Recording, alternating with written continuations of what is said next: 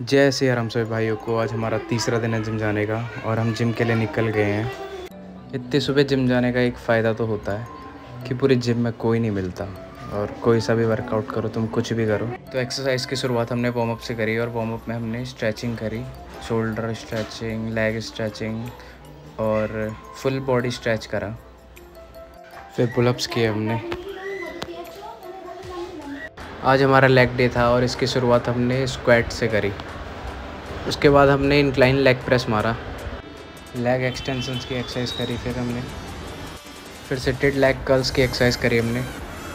तो जिम से हम घर चले गए। घर जाने के बाद हम अपने ऑफ़िस के लिए निकले और आधे रास्ते में इतनी तगड़ी बारिश आ गई कि हम भीग गए। लेकिन भीगने में भी बहुत मज़ा आया था। ऑफ़िस में जाके मैंने तो जूते उतार दिए। फिर बाहर चले गया जूते सुखाने के लिए। धूप आ गई थी। और सब दोस्त तो बिल्कुल छाँव में बैठ के बातें कर रहे थे और मैं एक धूप में अपने जूते सुखा रहा था। उसके बाद हम शाम को निकल के स्विमिंग पूल गए आज के दिन मैं बहुत थक गया था। उसके बाद मैं घर जाके सो